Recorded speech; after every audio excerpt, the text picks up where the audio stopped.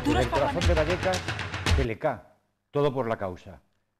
Estos días eh, que casi terminamos en marzo, acercándose la Semana Santa, hoy nos ha dado un día de luz, de mucho sol. No sé si será bueno o malo el que se adelante las estaciones, lo que hay es bastante confusión a nivel meteorológico. Eh, tanta o más como hay en el movimiento político después de las elecciones generales. Hoy tenemos con nosotros una institución, el portavoz socialista en la Asamblea de Madrid, el exministro Ángel Gabilondo. Ángel, encantado y bienvenida a esta casa. Estoy muy contento de estar en Teleca. Eh, te quería hacer la primera pregunta con algo que es muy de actualidad. Hoy se han montado campamentos en frente del Ministerio de Asuntos Exteriores, 18, 19 ONGs, eh, reclamando un trato digno, lo que está pasando en Turquía, el- con la guerra de Siria, con ese documento que se ha hecho en la Unión Europea, que esperemos que no sea así. Eh, ¿Cuál es tu opinión y qué relación tiene en la política española? Yo en esto tengo la opinión que tiene la mayoría de los ciudadanos y las ciudadanas, que es una vergüenza, sencillamente una vergüenza. Es una vergüenza la posición de la Unión Europea y yo espero que no se ratifique, porque es una vergüenza desde el punto de vista de los valores que compartimos, ¿no? Y los derechos humanos, de la dignidad de las personas. Y estas salidas eh, que consisten en comprar y vender posibilidades en vez de responder con dignidad a lo que tenemos, a mí me parece que lo que tenemos que hacer es todas las instituciones, todos los ciudadanos y ciudadanas, plantarnos frente a esta decisión y desde luego hacer toda la legítima presión para que eh, no se ratifique. Espero que no se ratifique. Cuando vimos aquella foto tan dramática en una playa de un niño sirio eh, que atrajo tanto a la gente, la gente se conmocionó con ese hecho, rápidamente los políticos hicieron todas declaraciones. Esto hay que ayudar. Han pasado los meses y ni han venido a España aquellas Sí, sí, sí. personas que nos hemos comprometido, ni los gobiernos regionales, la Comunidad de Madrid y otras comunidades, que fueron muy solidarias cuando vieron la foto del drama, hoy está todo paralizado. En la Comunidad de Madrid, ¿qué se podría hacer y qué no se hace? Bueno, desde luego se anunció un plan de actuación, se hizo una oficina de acogida al refugiado, una mesa, eh, in- incluso se estableció pues que iban a hacer unos planes de incentivar económicamente a los municipios para crear espacios de acogida, pero bueno, yo mañana voy a preguntar a la presidenta sobre cómo va todo esto, porque tengo una sensación de que no hemos hecho mucha cosa. Yo no he hecho solo la culpa ni a la presidenta ni al gobierno, sino un poco a todos nosotros que nos hemos quedado un poco eh, desatentos a la situación y yo creo que ahora esta activación que se produce, a mí lo único que me da más temor es que sea una activación también solo esporádica, formal, que todos hagamos declaraciones, yo espero que también mañana haga- hagamos una declaración conjunta a todos los grupos, pero es que hay que intervenir, pero además hay que intervenir políticamente con mucha contundencia en, modificando los modos de concebir de la Unión Europea de estos asuntos. No acabamos de creernos que, un refugiado es una persona como nosotros. No, no nos lo acabamos de creer. Y yo creo que esta es la clave. Siempre hablamos con conmiseración, con caridad, con paternalismo, pero sí, es que son menos que nosotros. Y pues vamos a ver qué ocurre, pero yo estoy profundamente preocupado por esto. Creo que es el, problema que más delata el deterioro un poco de nuestra concepción de lo humano, en, en- desde luego en Europa. Está con nosotros el- la pareja de presentación, que es nuestro compañero y amigo, el profesor eh, Ricardo Morón. Ahí lo tienes todo tuyo. Pues en primer lugar, darle las gracias y darle la bienvenida a este plató. Me alegra mucho compartir este espacio y este tiempo con eh, el profesor Gabilondo, que ha sido mi rector durante, durante un tiempo allí en la universidad, en el que yo creo que hemos logrado ser amigos y en algunos momentos enemigos íntimos, eh, y quizás Estoy- en minúscula. No, eso es fundamental para que las amistades sean verdaderas, para que las amistades no sean solo formales, se se construyen también pues, sobre disensiones, En sobre eh, búsquedas conjuntas con buena intención de, de lo que nos parece mejor, aunque disentamos sobre cómo hacerlo. Pero En yo me siento sí, muy contento sí. de estar con el profesor y compañero Ricardo. Si hay tiempo, eh, lo contaré, pero vamos, yo creo que una característica, aparte de todas las disensiones que hemos tenido, ha sido la lealtad y, Sí, y absoluta, yo la absoluta. claridad siempre, y eso es muy, muy de agradecer. incluso en momentos en los que ha habido eh, disensiones fuertes, yo creo que ha habido una lealtad y una transparencia importante que ha permitido que mantuviera. Es que si no, no vengo. Bueno, con Nino y el sí que es un placer estar, ¿no? Pero pues, esto también me da mucha confianza. Al hilo de lo que estabais comentando, que inmediatamente me ha venido el título del libro Santiago Alba, eh, del naufragio del hombre. Eh, lo quiero hilar también a los políticos, a las políticas, a las élites, un poco a los que nos gobiernan, porque yo con las elecciones autonómicas a las que tú te presentaste tuve una cierta alegría, eh, hombre, y además todo el mundo lo decía, se presenta un catedrático de metafísica, un poeta, es decir, personas que no se dedican habitualmente a la política, y parecía que había un punto de volver a llevar a la política probablemente esos valores también, eh, humanistas, etcétera. ¿En qué ha quedado eso? Porque parece que al final elegimos casi a los peores, o sea, elegimos para ser políticos o se autoeligen o se seleccionan eh, casi eh, los peores, los que no les aguantan en casa, yo creo. No hablo, no hablo por ti, que me parece una esperanza. Si, me ha parecido bien solo en mi casa, los demás No, pero no te da la, impresión. Igual en Europa, gente muy gris, eh, muy burócrata. Igual en esta. Gente que le falta ese punto de decir. El gobierno no es echar cuentas, el gobierno es, entre otras cosas, lo que dice, mantener esos ideales humanistas, ¿no? Primero, yo, yo reivindicaré la política. Yo estoy muy a favor de la política. Defiendo la decisión política, el espacio político, eh, lo político de todos los espacios, también de este. Y yo lo defiendo. ¿no? Estoy en contra de la politiquería, los politicastros, el partidismo, el sectarismo. Y el, peligro es que esto arrolle con la política. el peligro es que esto esté ocupado por burócratas o por personas que quieren hacer una carrera personal a cualquier precio y de cualquier manera. Espero que esto no sea así, confío que la mayoría no sea así, yo por ahora creo eh, que esto no es así. Pero es que tenemos que luchar mucho, mm. porque los hábitos son también hábitos a veces ya profesionalizados. Tenemos que luchar mucho y cambiar también la idea. a mí en concreto me toca ser, pues, no sé si se llama líder, no sé cómo se llama eso, de la oposición. Entonces yo tengo algunos problemas graves para hacer esto.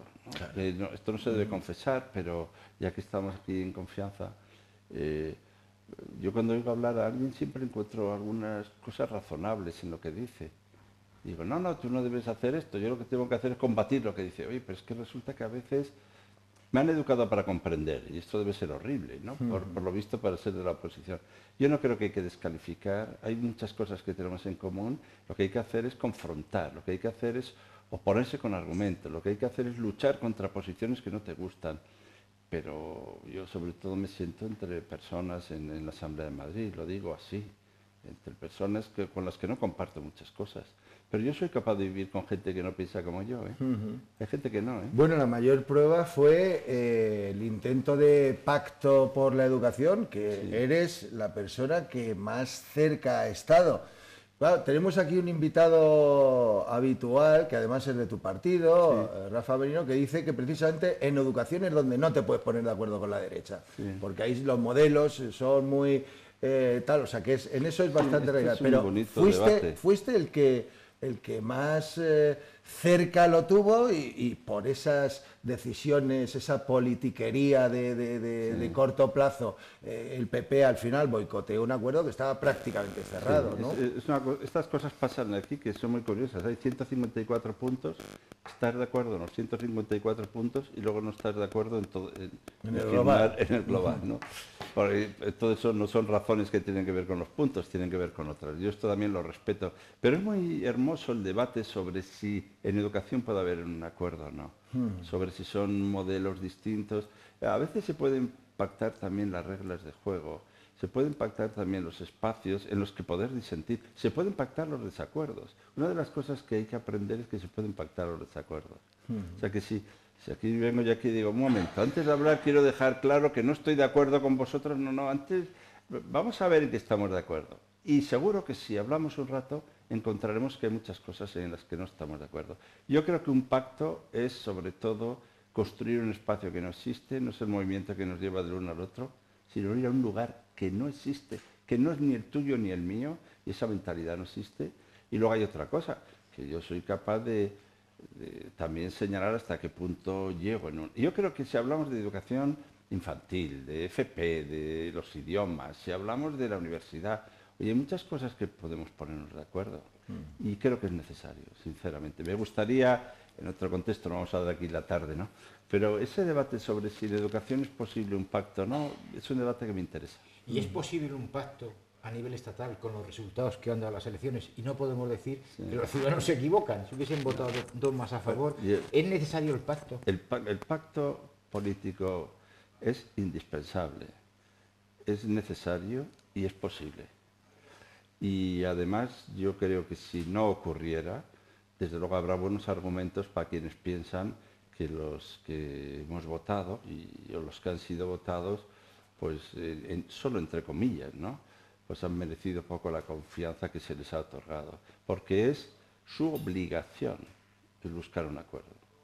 Y de luego yo voy a defender aquí una hipótesis por, defender algo, porque es que si no defienden nada parece demasiado metafísica, y es que no va a haber nuevas elecciones.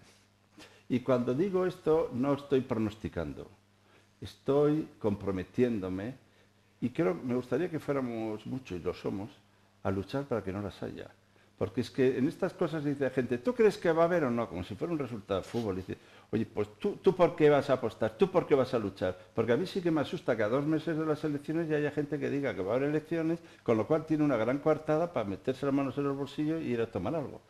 Yo creo que tenemos que luchar hasta el último segundo para que haya un acuerdo. Y además, hay personas que están pidiendo ese acuerdo. Es que hay urgencias, es que hay emergencias sociales, es que hay pobreza, es que hay desigualdad es que la 11, mientras estamos haciendo risitas, se sigue aplicando. Es que la reforma laboral, mientras nosotros estamos aquí a ver qué nos parece, pues resulta que está generando problemas para la negociación colectiva, para la contratación y para la empleabilidad en condiciones dignas de mucha gente. Es cada segundo que nosotros nos dedicamos a ver qué pasa, es que pasa, pero pasa de verdad. Y, esta es la prioridad. Para mí la prioridad son los, problema, la situación de emergencia social, la desigualdad.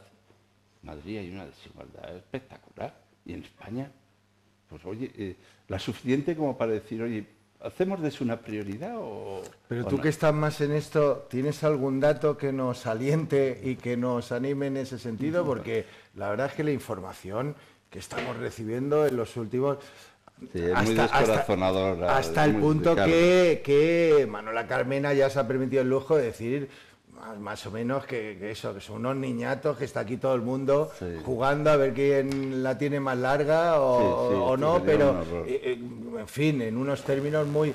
Ahí sí que hay mucho, mucha hay que, hay que cambiar la mirada, claro, hay que cambiar la mirada. ¿no? Algunos dicen, Manuela Carmona ha dicho que algunas veces parecemos niños jugando, y otros han dicho, han corregido a Manuela Carmona. Carmena, diciendo que no es algunas veces, que siempre. Pero bueno, yo no estoy tan... Me parece muy perversa la corrección. Yo lo que sí digo es que, ¿dónde está la prioridad? ¿Dónde ponemos la mirada? ¿Nos ponemos la mirada en nosotros? ¿En cómo estamos nosotros? ¿En cómo vamos a quedar nosotros? ¿En qué pasará con nosotros? ¿En qué será de nosotros? ¿O ponemos la mirada en miles y miles de ciudadanos que están necesitando que intervengamos? Necesitando que intervengamos. Entonces a mí cuando se ponen a hablar, no me gusta tu modelo, me gusta tu modelo. A mí me gustaría oír hablar del modelo económico, por ejemplo, que defendemos cada uno y que se haga un debate serio. En vez de, ponerle adjetivos, el tuyo es muy progre, el tuyo es muy carca, esto es muy facha. Oye, ¿por qué no hacemos una prueba? ¿Qué economía, qué modelo económico se puede defender? Y se puede defender garantizando la máxima universalidad. que no generemos pobreza. Es que esto es una cosa espectacular. O sea, es que tenemos un sistema no solo que no combate la desigualdad, sino que la genera. Eso en cuanto a modelos. Probablemente si se les encargara a todos ellos que hicieran 10 propuestas de 10 eh, prioridades, eh, muchos de ellos coincidirían en, las nueve primeras. Claro. Con lo cual... Pero, pero es que hay que poner ahí la mirada. Claro. Sí, pero la mirada igual a veces la ponemos en... Si pactamos cuántos diputados perdemos en el caso de que tengamos que... Y así jugando así, esto sí que es jugar.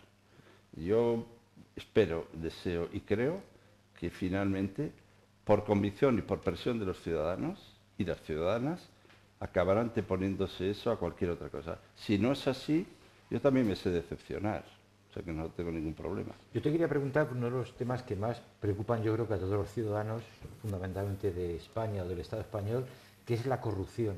Yo me pregunto, eh, ¿tiene solución la corrupción? Porque luego otra cosa que he comprobado estos días es que eh, ante la corrupción los partidos todos actúan de la misma manera. O sea, nadie sabe nada de Rita Barberá, pero ahora con el chiquito este que os ha salido, me parece que, que en Galicia, que está imputado, pues dicen los responsables lo mismo que dicen los del otro partido. En el caso del PSOE dicen que bueno, que, como la norma del partido no tiene que haber imputados en las listas, no irán en las listas, pero sí en la Secretaría General. Eso es engañar un yo poco Yo le doy mucha importancia a los nombres, pero sigo pensando que miramos el dedo y no miramos la luna. O sea, esta historia de buscar los casos y de buscar los nombres propios y sustituirlos por otros me parece indispensable. Pero a mí me parece mucho más indispensable atajar las causas, los procedimientos, los mecanismos que conducen a estas consecuencias. Porque si vamos cambiando los nombres unos por otros, pues mejoraremos. Pero bueno, podemos ir sustituyendo todos los españoles unos por otros. Pero hay que ir a las causas y a los causantes. A las causas y a los causantes. No solo a las consecuencias. Y a veces oigo decir, bueno, al que sea pillado en la corrupción será quitado y puesto otro, como una, con una solemnidad papal. Y digo, por supuesto. Pero la historia está en, estamos de verdad atajando las causas. En Madrid, por ejemplo, hablemos de Madrid. Estamos de verdad atajando las causas, los procedimientos, los mecanismos, las formas de contratación que conducen a que pueda haber situaciones de abuso. Estamos, estamos eh, devolviendo lo robado, estamos castigando no solo al que ha sido corrompido, sino al corruptor, estamos, no estamos contratando de nuevo a aquel que ha sido el corruptor, pues yo creo que ahí tenemos mucho por hacer. Es mi forma de decir que no, pero lo que pasa es que yo lo digo así largo, pero yo creo que tenemos que hacer eso. Y ahí es donde yo tengo, pues con todo respeto, algunas diferencias con la presidenta de la Comunidad de Madrid, que a mí me parece que va más a las consecuencias que a las causas, y que va más a, los casos que a los causantes. Y ahí es donde, bueno, todos los que tenemos determinada opción tenemos la obligación de respetar lo que hace, de agradecer que lo haga, pero decir que nos parece poco, porque queremos transformar. Es que yo he venido aquí a transformar. Prefiero irme fracasando que cambiar el objetivo. Yo no he venido aquí a hacer pequeñitos cambios, sino a transformar la situación. Y a mí me parece que, ir a los casos y no ir a las causas eh, Recientemente se ha firmado en la Comunidad de Madrid otro de los problemas graves de los madrileños y me supongo que de otros españoles es el desempleo. Demasiados parados en esta época. Hace poco se ha, hecho un pacto entre los sindicatos, la patronal y el gobierno. ¿Cómo lo valoras tú? ¿Eso es positivo que se haya hecho eso? A mí los acuerdos me gustan. Eh, la negociación colectiva, o sea, el diálogo social me gusta. Que haya diálogo social y acuerdos, yo no lo voy a criticar. A mí eso me parece bien. Ahora, que digamos que eso es un plan eh, de empleo, pues no lo es. No es un plan. Oye, que son acciones, recopilación de acciones que son positivas. Espero que sí, deseo que sí, creo que sí, para intervenir en el desempleo de las mujeres o en el desempleo de la gente más joven o aquí o allá, me parece bien. Pero un plan de empleo tiene que cambiar, afrontar el modelo productivo, tiene que hacer un plan de reconversión, tiene que intervenir la I más D I, tiene que intervenir el conocimiento. Y yo cuando he hablado con esto con los sindicatos, aparte de mostrar esta pequeña queja de que hubiera estado bien y estará bien que estuviéramos en el corazón de ese pacto los que somos representantes en el Parlamento, Aparte de esto, también digo que no es un verdadero plan de empleo. Seguiremos trabajando y haremos lo que podamos para que lo sea, pero es que si no, no va a cambiar la realidad.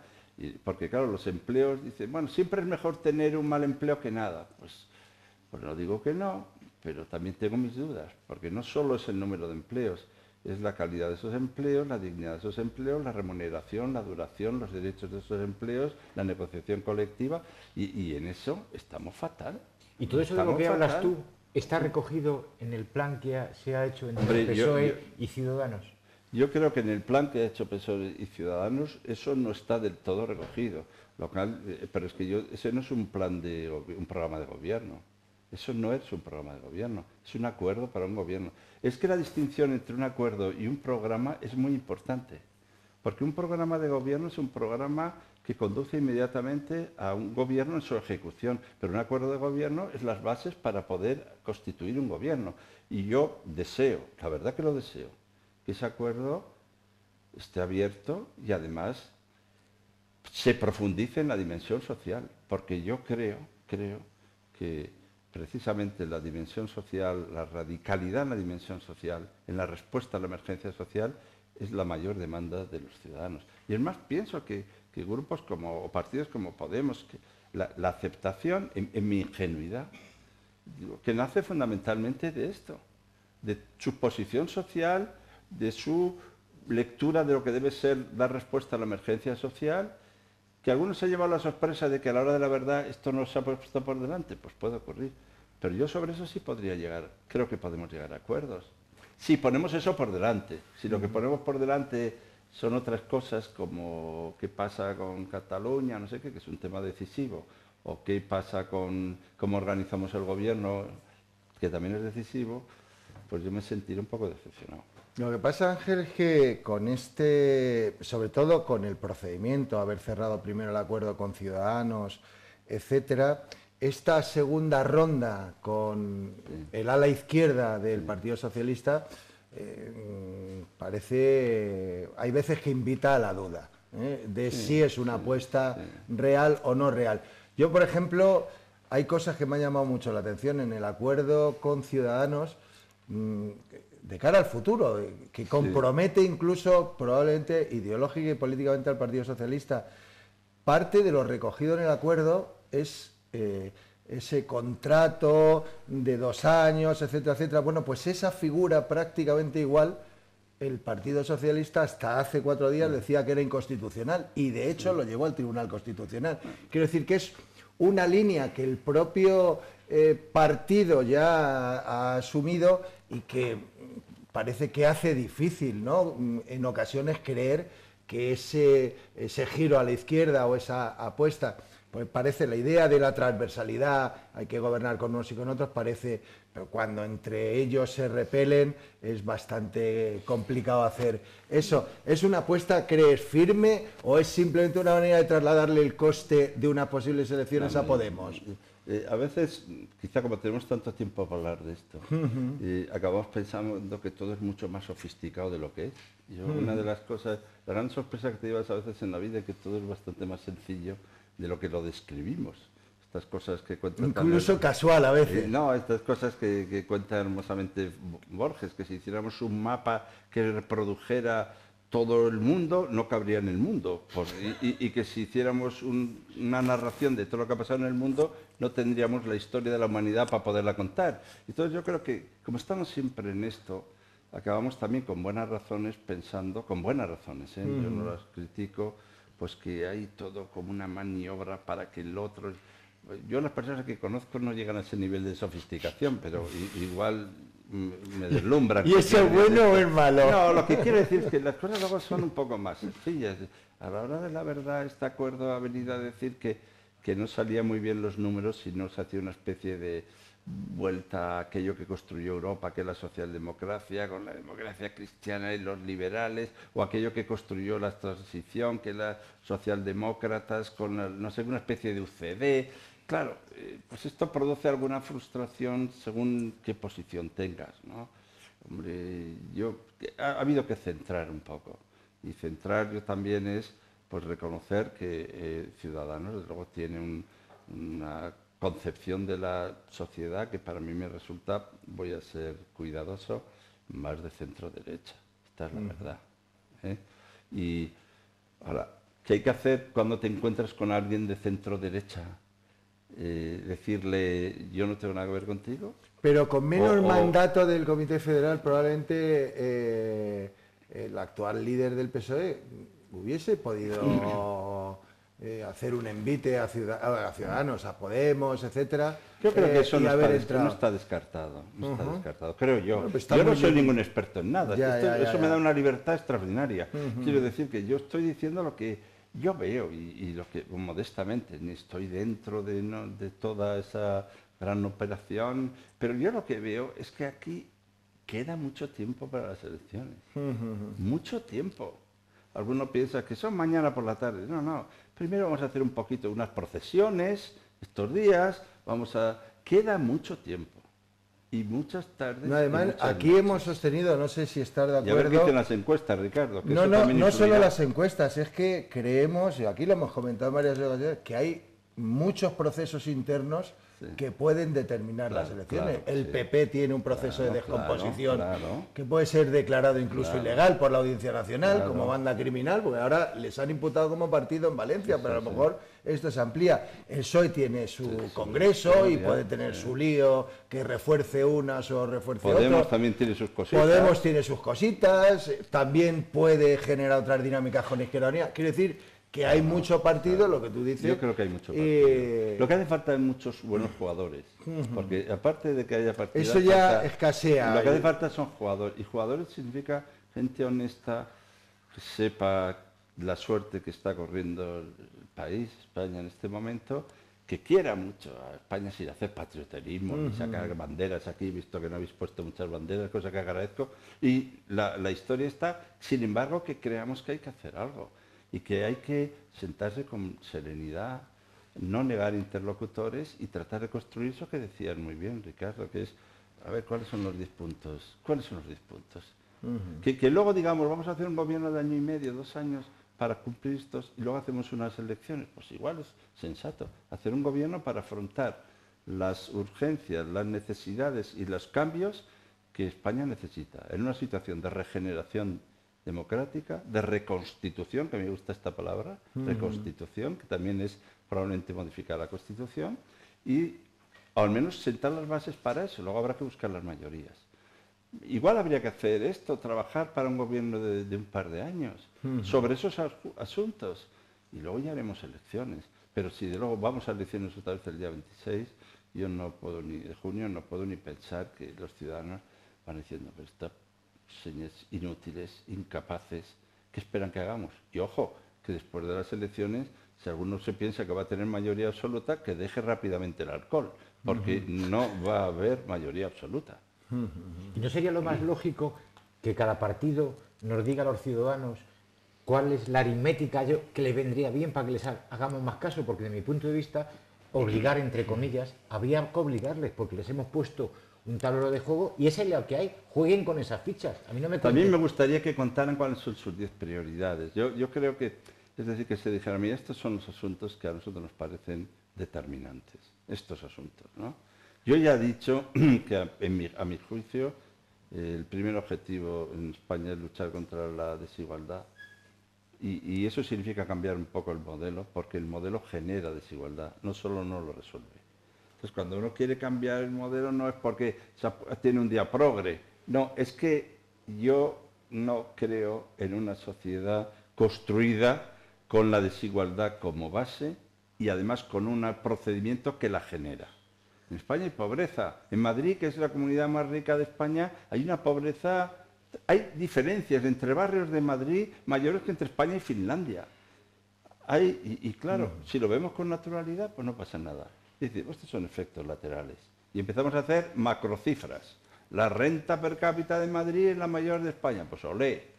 Que le resulta que el Producto Interior Bruto, que yo siempre le llamo bruto, eh, parece que también ha mejorado. Pero la, eficiencia para resolver el veintitantos por ciento de gente en situación de pobreza, los niños que no tienen horizontes para salir de ella. Estamos en un barrio extraordinario y maravilloso donde no hace falta leer muchos libros para ver que, hay estados de necesidad, ¿no? Pero, ¿esa es la prioridad de todos los partidos políticos, de verdad? Yo, sin embargo, Ángel, eh, te he hecho en parte la culpa a ti de todo esto. Ah, yo creo que soy el causante directo. no, no, Y no te olvides de la parte de África. Es un reproche, es un reproche que te he hecho en particular, es más, quizá un deseo que un reproche, y es que Ángel Gabilondo, eh, al día siguiente de las elecciones autonómicas, no llamara a Podemos, conformara una mayoría con un acuerdo de investidura nada más, ni de gobierno ni nada, y se lo pusiese delante a Ciudadanos y le dijese, usted verá, con nosotros o con la corrupción del PP. Sí, algún día. Esto, aunque no, no, sumara la mayoría eh, eh, Podemos y Partido Socialista, pero era, era el grupo de haber conseguido un acuerdo de investidura, era el grupo mayoritario, más que el PP y la iniciativa. y yo creo que ahí tenía que Ángel Gabilondo o el Partido Socialista tenía que haber dado un paso adelante. Muchas gracias por pensar. Y además creo que podría haber sido. ¿Tiene algo que ver Susana en esto? No, no sale la suma. 65-64, no sabe la suma. Bueno, no, y además, si, hacemos un relato de lo que ocurrió, de la negociación, que se puede hacer un relato de la negociación, yo puedo asegurar que no ocupa más de tres líneas. Porque en el minuto uno, Ciudadanos y el PP estaban de acuerdo de que iban a gobernar. No había nada. Yo, no tuvimos espacio de negociación. A ver, yo... la conducta al menos. No, no, sí, aquí estamos nosotros. Somos grandes expertos en reñir, pero lo, que luego votamos y perdemos. Por eso nuestra única posibilidad ha sido buscar alianzas de tres. Solo ganamos votaciones cuando hay tres.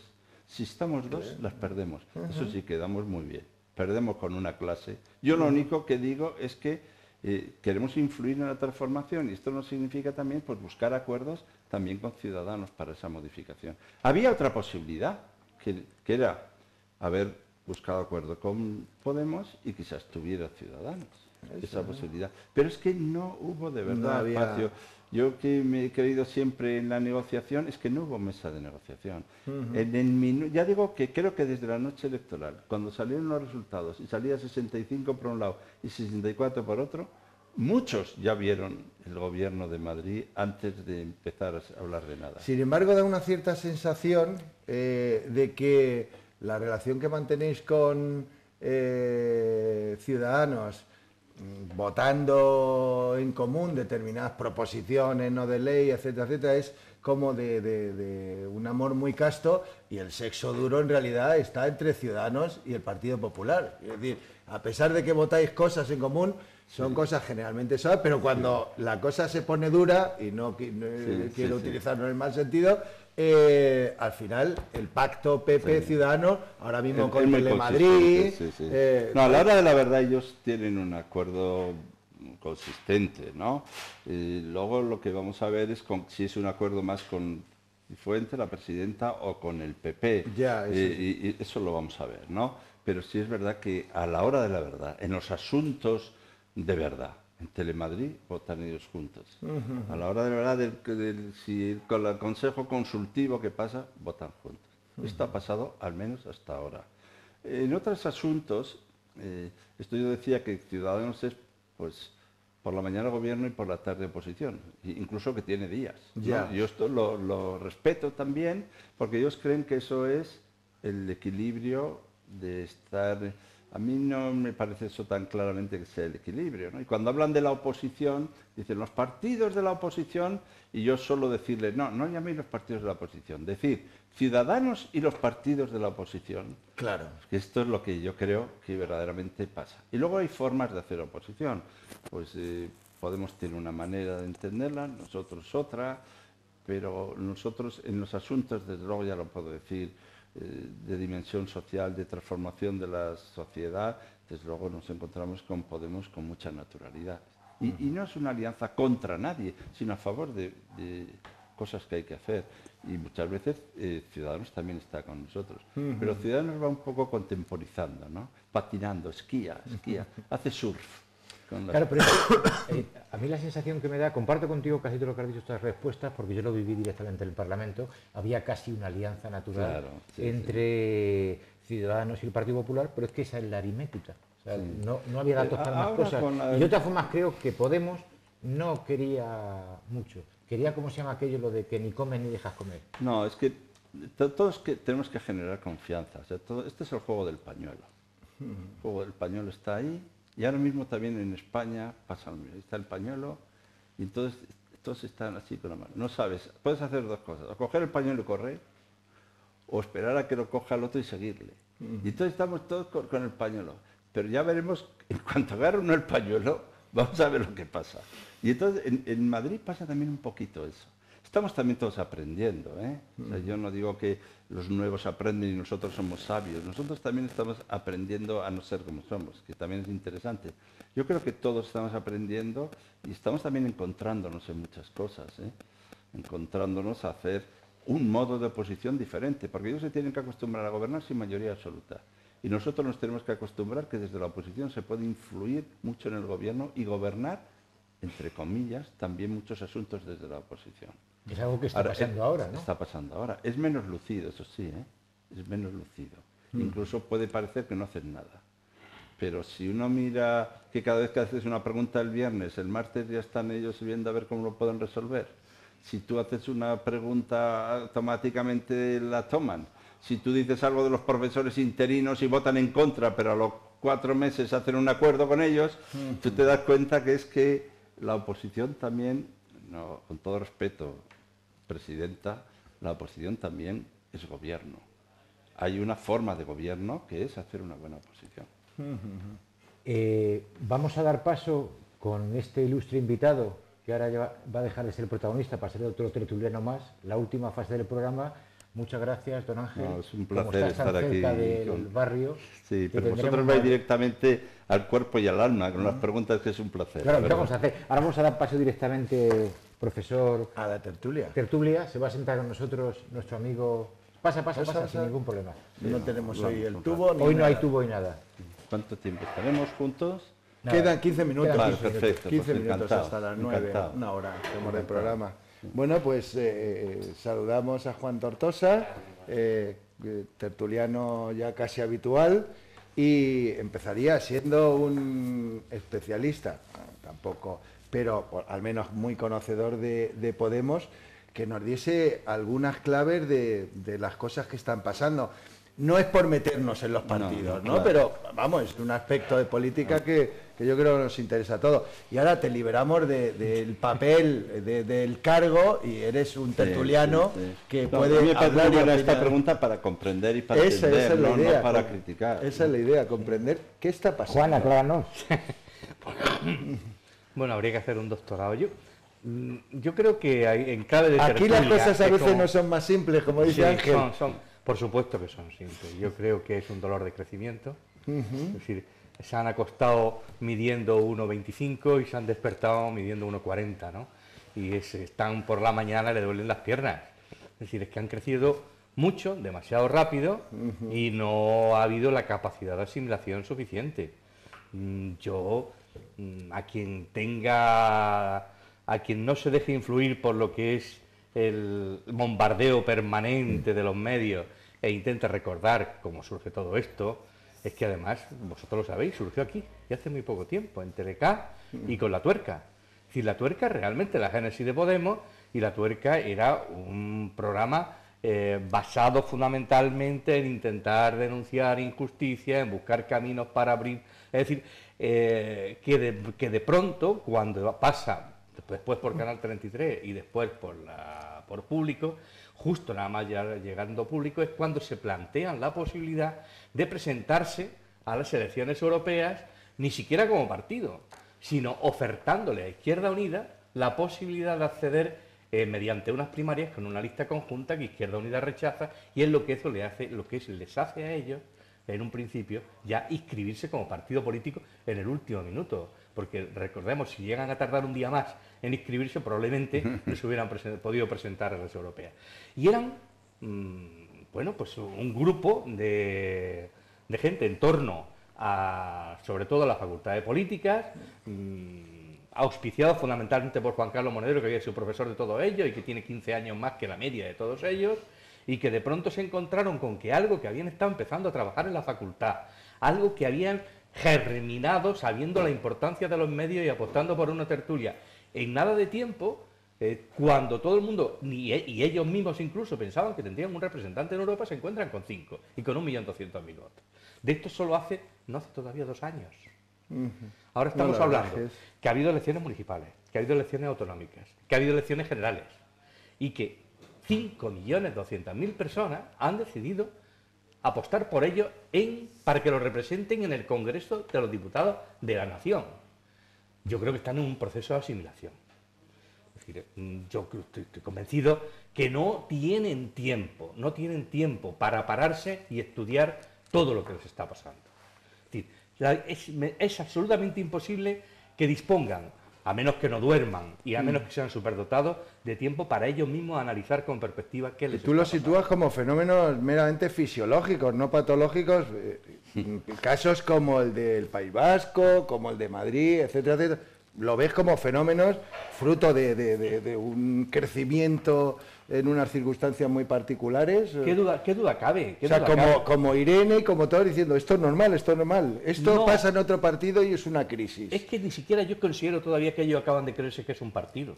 Ya. En todo, en todo caso es una suma de sensibilidades, eso sí lo que se lo compro la idea. Es decir, en, el, en Galicia mm, ha habido unos acuerdos con las mareas y las mareas reivindican su autonomía al margen de Podemos y no existe una, una relación precisamente conflictiva. En Barcelona fracasaron en las autonómicas con una opción como Cataluña sí que es spot y rectificaron un poquito cuando mm, Ada Colau dejó de ponerse de perfil eh, después de las elecciones autonómicas catalanas y decidió apostar por un, por un proyecto conjunto con Podemos donde había muchísimas divergencias del minuto uno, eh, desde el nombre hasta cómo eh, se, cómo se planteaba la oferta electoral, hasta el programa y hasta la división de, de las responsabilidades y de quién iba a representarlo.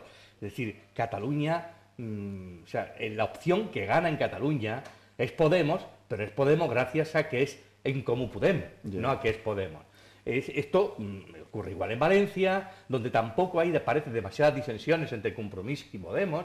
En este momento, yo creo que la región que vive el momento más dulce de todo, es Valencia, donde tú hablas con los valencianos y están encantados de lo que está pasando. y se quiere trasladar a la nación el modelo valenciano. Sí, claro, a ver si, no sé, es una opción, ¿no? Sí, eso es una propuesta pero, pero no sale la suma, ¿no?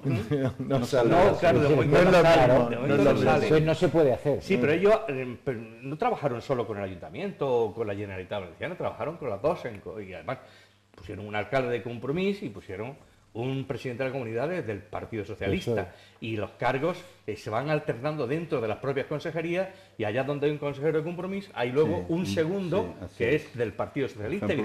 ese, ese trabajo eh, que está empezando a lucir y que les está empezando a rentabilizar al margen de que la justicia se ha dedicado a perseguir al Partido Popular y a dejar en evidencia que ha sido el Partido Popular durante tantos años en Valencia, que tampoco les está viniendo mal, todo eso junto hace que la gente, y justo ahora que están en falla, estén celebrando como un momento dulce de lo que está pasando. La, gente, celebraba con cava cuando metieron en la cárcel a, este hombre de Alicante y tal. no, pero yo me refiero para, para, centrarme en lo que tú has planteado, que es Podemos y sus conflictos. Es decir, claro que sí, pero están inventándose. Es decir, tú hablas con Mónica Oltra, o hablas con Ada Colau, o hablas con eh, Teresa Rodríguez en, Andalucía. Son sensibilidades completamente distintas, pero con un objetivo común. Sabían lo que no querían y están intentando entenderse sobre cómo hacer lo que hay que hacer. Ahora, ¿qué hay ahí? Pues un aparataje, un aparataje matriz que está con los dolores de crecimiento. Yo me refiero fundamentalmente. ¿Y las respuestas qué te parecen? ¿Eh? ¿Las respuestas qué te parecen? Esto de una carta a las 12 eh, no, es que a ti no te pregunto porque sé que lo que va a decir y lo dices ahora. No, no creo que lo sepa lo que va a decir. yo, creo que sí es cierto que es un problema de crecimiento porque se ha crecido rápido. Es un problema que se puede ser problema de huesos. Pero si cuando surgen los problemas de huesos en el crecimiento no corriges ciertos desvaríos, puedes tener, por ejemplo, en las rodillas recurvatum, que se te doblen para ambos lados. Ese riesgo seguro claro, que sabe entonces, mira, a mí me sorprendió mucho anoche porque cuando estás creciendo en cualquier actividad profesional en la política, pues hay cosas que vas aprendiendo. Pero el lenguaje, y decía Adorno que el lenguaje, la palabra es la expresión de la ideología. Ayer me leí eh, a media tarde que mandaron la carta que mandó Pablo Iglesias a todos los afiliados, donde hablaba de la política al beso, de todos nos queremos, del cariño, donde ya dejaba, sí, donde ya dejaba claro que no podía haber ni tendencias ni grupos más que el suyo pero me sorprendió mucho más que a las 12 de la noche hubiese una carta durísima, durísima, contra el que había sido su aliado hace muy poco, que era el secretario de la organización. Yo creo que muy dura, muy dura, sin respetar. Y luego me llama mucho la atención este régimen presidencialista, hasta en el PP, que hacen un paripé para destituir a alguien, hacen un paripé y convocan un comité nacional. Este no lo convoca, este de su casa dimite y quita y pone a, cualquiera. Con lo cual yo creo que si el crecimiento no lo cuidamos, podemos tener las patas que se llaman siempre patizambas. Sin ninguna duda. Pero yo analizaría de todas maneras también el fondo de lo que ahí está pasando. Yo creo mm, el espíritu que lleva a actuar así es también mm, la sensación de no podemos dar, con esto no pretendo justificarlo, sino intentar explicarlo, no podemos dar la sensación de estar permanentemente pareciendo novatos en todo. Es decir, cuando se genera la crisis de Madrid, cuando dimite el secretario de Organización de Madrid, porque se enfrenta a su propio presidente o secretario general, perdón, Alegre. Eh, a, Alegre. Y Olé. Y eh, entonces cuando eso sucede y se llevan, además, se consigue además la solidaridad, entre comillas, de ocho o nueve de los eh, participantes en ese Consejo Ciudadano madrileño, la tesis es, no puede pasar una semana sin actuar. A mí eso me parece correcto. A mí eso me parece correcto. Quiero decir, yo creo que si un secretario de organización de una determinada eh, región mm, genera un conflicto como el que se, generó ya hace más de, creo que va por 10 días, es decir, lo que no puedes hacer como secretario de organización estatal es mm, dar la sensación de que eso es la... No va contigo. Creo, creo que hay que actuar antes. Yo creo que eso es un poco lo que guía el funcionamiento. Una pregunta, Ángel, eh, a este respecto, porque sí que parece que ha sido más un problema interno que un problema político, ¿no? Y de hecho, muchos de los que han dimitido pues en, la Asamblea de Madrid no se ha trasladado un conflicto. Lo digo porque tú estás allí. Yo, voy a hablar bien de ellos. Eh, desde luego las personas que yo conozco de esas que han dimitido, ¿no? Los que han dimitido. conozco más y menos. Que han dimitido de cargos orgánicos. Sí, no, yo, digo que su de cargos orgánicos, su comportamiento en la asamblea es magnífico. Magnífico me refiero a que sus intervenciones, ¿no? la argumentación, la, el sentido de sus intervenciones, eh, me lleva a que yo tengo la mejor apreciación de ellos. La verdad, no. estas son las cosas que me dicen que no tengo que decir. Pero bueno, yo, tengo la mejor apreciación de ellos. Y, por tanto, el, problema debe ser de otro cariz, un cariz que a mí se me escapa. Pero yéndole a hablar a Juan, sí que veo un poco mm, lo que pasa más, lo veo más, ¿no? Cuando se dice, no podemos dar la sensación de que. Bueno, pues yo soy partidario de que no podemos dar la sensación de parecer novatos, yo soy más partidario de no podemos ser novatos. Lo, cual no digo. Me parece que lo son. ¿ah? No, no, pero lo, que digo es que hay un poco, en la política hay un poco el, temor a, a, ver si vamos a parecer que. Y cuando a veces tenemos temor a parecer inactivos, nos da un ataque de actividad que es muy inquietante. Cuando uno se levanta por la mañana, tengo que hacer, yo le recomiendo que se tome algo, no porque no haya que hacer, sino porque tienes el peligro de actuar un poco impulsivamente o parecer que actúas poco coordinada o, Incluso una sobreactuación, como le parece a Nino. Pero, es que en general la, política está muy sobreactuada. hay una teatralización de, los espacios públicos, hay un espectáculo de la política, hay un espectáculo de las palabras, todo se escenifica, ¿no? Yo, también he besado alguna vez, pero bueno, en general... En los labios. en los labios incluso, pero, pero no veo necesario que lo televisen en directo. O sea que lo que quiero decir que hay una percepción general de que todo debe ser retransmitido, todo debe ser contado.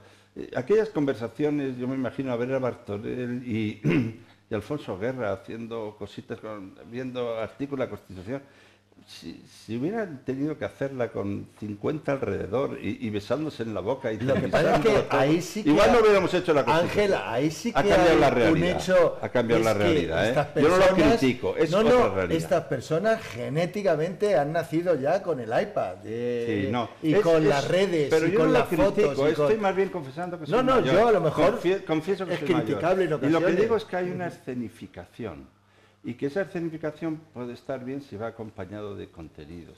Y esos contenidos me refiero a que yo espero que internamente haya efectivamente acuerdos, consensos, se serene esto, porque no es bueno para ninguno. Hay alguno que le divierte mucho que haya internamente los otros partidos. No, no, yo quiero que Podemos le vayan las cosas desde el punto de vista estructural y orgánico bien. Yo quiero eso. Ahora, para poder precisamente disentir en su caso de políticas, porque al final ya no hablamos de políticas. Yo, he hecho la experiencia de ir a la Asamblea hablando en un momento todos eh, de las residencias de mayores, un debate estupendo, donde hubo intervenciones estupendas, pero en un momento determinado dos personas medio intercambiaron unas palabras, pues eso apagó todo el debate y desaparecieron las residencias y el debate de las residencias. Y a mí me da un poco pena, pero yo lo comprendo porque son dos meses y es mucho tiempo, que al final el debate sea orgánico, estructural, eh, organizativo, y, todo esto pues yo que lo resuelvan, me alegro que lo resuelvan pronto, prefiero que, que tengan los menos problemas posibles, pero me pregunto, ¿hay algún debate de contenidos? Igual sí. ¿Hay un, ¿Hay un, debate de organización, de cómo se concibe la organización? Igual sí. ¿Hay, hay un debate sobre la forma de entender la autoridad eh, dentro del partido? Igual sí. ¿Hay formas, eh, porque claro, hacer compatibles con los círculos, con los espacios de decisión también tiene sus problemas. Yo les deseo de verdad que les vaya bien, pero lo único que me temo y no quiero que pase es que la política se convierte en el parecer o en el dar la impresión, ¿no? Bueno, no queda... bueno, era en, todo lo que he dicho solo un, un matiz. Yo tampoco soy en absoluto quien, quien ni para simplemente para intentar interpretarlo. pero, ni, yo, fíjate. Pero, de, alguna manera sí admites y me parece bien porque estamos de acuerdo que es gente preparada, es decir, gente muy preparada, es decir, que cuando les decimos novatos, que yo lo admito, lo decimos en el ejercicio de la política diaria, pero son gente preparada, con lo cual a mí esa... Eso también puede ser una ventaja en un momento determinado. Claro, transmiten confianza, quiero decir, yo creo que esa capacidad de estar preparado sí la transmite. Y sobre todo la transmite muchísimo porque lo tienen muy fácil frente a tanto eh, iletrado como hay sentado, en, por ejemplo, en la fila del PP y que se ve clarísimamente. ¿no? Los doctorados no te dan doctorado en política. No, no, hay que estar preparado para... Yo creo que la verdadera preparación... Pero no saber cómo se llama el presidente de Portugal tampoco es bueno para ponerte por ahí a debatir con otros, ¿no? no Es decir, no sé si me explico, sabía a qué me refiero perfectamente, ¿no? Quiero decir, ahí eh, son gente que están preparados, que saben... Eh, que han estudiado mucha teoría política y que hmm tampoco han empezado ahora, ¿no? Hay algunos que tienen experiencia. ¿Sabes mi idea, Juan? Mi idea de que, en qué consiste verdaderamente es una persona cultivada, en tener capacidad de comprender. yo creo que eh, las dos cosas que se aprende con la edad es a tener menos miedo, esta es la verdad, y menos prisa, y desde luego otra a comprender. Entonces yo, lo, eh, para mí la preparación de verdadera, el test de preparación de un líder político es que tenga capacidad de comprender a quien no piensa como él. O sea, que, no le parezca imposible que haya otros que piensen distinto, o que crea que es un grave error pensar de otra manera, o creer que uno se la sabe todas y mejor que los demás. Entonces yo ahí no me refiero a ellos, me refiero a mí, a mí, el gran peligro de la política es la arrogancia. Y la arrogancia es equivalente a la ignorancia. Y me refiero a mí, no estoy dando lecciones. Lo único que espero es que todos seamos, tengamos más capacidad de comprender y tengamos menos arrogancia. Y no me dirijo a ellos, repito, me dirijo a mí. Yo me lo digo todas las mañanas. Y la preparación, dice, tiene mucha preparación. Yo es que me he encontrado muchos chicos preparados en la universidad. Es que hemos visto miles de personas preparadas. Es que están preparados muchísimos. ¿Qué es lo que le distingue a estos del resto de los preparados? También que dedican su tiempo a luchar por los demás. Bueno, y yo le agradezco que, sean tan osados. Por eso, por eso. Y que sean son cualidades, son cualidades. Este, Pero yo creo que todos tenemos que aprender a comprender más al que no piensa como nosotros y a no descalificarlo a ser posible. llegan, llegan al Congreso de los Diputados con la, con, en la alforja 5.200.000 votos de gente Todo mi que hemos delegado o han delegado en ellos mm, para hacer algo distinto a lo que hasta ahora se venía haciendo. Sin duda. Es decir, pues los últimos días no parece que hagan lo mismo que, antes, lo mismo que antes. No, no, pero no hablo en los términos internos. Quiero decir, si hay algo que es cierto. Es decir, si mm, yo por supuesto creo que no solo hay que eh, entenderse con, el contrario y con el que piensa que es distinto como tú, por supuesto. y no creo que ellos piensen eso otra es cosa. Estar bien preparado. Eso sí estar bien preparado. Pero sí es verdad que mm, tiene que haber algo que cambie con la llegada de esta gente al Parlamento. Es que la política lo necesita, Juan. la política necesita una regeneración, un lavado de una vuelta de calcetín total. Aquí hay muchos temas, pero ese es y que eso lo perciba el Si sois capaces de decirme en una frase cada uno, pues nos quedan 40 segundos eh, antes de ayer fue el aniversario, ayer, hoy es 16, ayer, 15 de marzo, el 15M. Mm, no, pues fue en mayo, ¿eh? ¿Qué queda, perdón, de mayo, ¿qué queda del 15M? Aparte, quiero decir, eh, se ha traducido en parte en un movimiento político, pero ¿y el resto? ¿Y aquellas pancartas tan imaginativas y aquella gente en la calle? ¿qué queda de todo ese movimiento? ¿O, está latente? Yo Eh, creo que, yo por ejemplo, si si vas a Galicia o vas a según qué parte de Andalucía o incluso en el País Vasco, yo creo que todo ese movimiento está probablemente menos visible, pero está latente y está trabajando. Es decir, yo creo que el Sí, 15M dejó una herencia, que en una parte se ha traducido en un movimiento político que está intentando buscarse y encontrarse a la vez, ¿no? Y por otro lado hay una actividad mm, ciudadana. Li- literaria, por discreta. ejemplo, vas a la librería Muga, estuve Sí, antes sí, de ayer viendo a lleno, Manuel sí. Riva y está Claro. lleno, o sea, ha habido una repolitización. Sí. Claro. En algunos casos son libros de autoayuda, pero, pero hay algunos... Nos ha llegado a hay análisis, No, hay de análisis. no, pero- Sí, hay- Las pero- pancartas volverán, no te duda. Ricardo, no- nos ha llegado eso a todos. O sea, quiero decir, ta- también pensar que el 15M es patrimonio exclusivo. Yo, les doy el protagonismo y el liderazgo de esto y yo lo agradezco. A mí me parece que ha sido bueno, para oxigenado, ¿no? Luego, el, problema es si te lo quieres apropiar. Y, se acaba. Es que a, todos nos ha cambiado. Es que se ha producido un cambio también en todo. Y- pero a, muchos se nos ha puesto el cliché y, y no, y no se admite que podamos también haber cambiado, ¿no? Igual resulta que uno está en un grupo que es el Partido Socialista y, y tiene también vinculación con... También es- cierto, yo creo que no es propiedad de A nadie. todos- hay a hay todos hijos, nos ha- a hay todos hijos nos del ha- 15M, pero claro. quien ha querido Sí. aprender o quien ha querido sintonizar con una o con muchas ideas del 15M, sea de cualquier partido. Incluso reconozco que puede haber hasta en el Partido Popular gente que haya dicho que le hayan Esto llegado bueno para todos. que le hayan llegado alguna onda y, Y, le haya y- y cambiado yo lo agradezco, yo agradezco o sea. a los que promovieron esto, lo agradezco. Lo único que pido es que no se patrimonialice y que se lleve efectivamente. Y otra cosa que agradezco es que se haya vinculado eso a las instituciones. Yo creo que es un regalo que oxigena a las instituciones. Ahora lo que todos tenemos que es aprender a, a- a- tenemos- estamos aprendiendo a andar, ¿no? Todos.